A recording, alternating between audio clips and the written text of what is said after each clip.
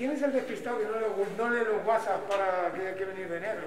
Es que nos hemos traído un super invitado. Entonces, es nuestro queridísimo Daniel Blázquez de los